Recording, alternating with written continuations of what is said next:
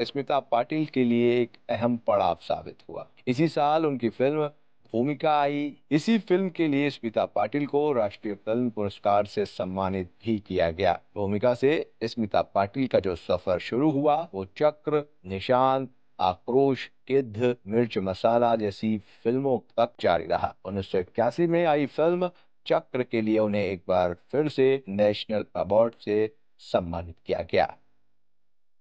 Bureau report, news plus. Latest खबरों से जुड़े रहने के लिए हमारे चैनल को सब्सक्राइब करें और बेल आइकन को प्रेस करना ना भूलें।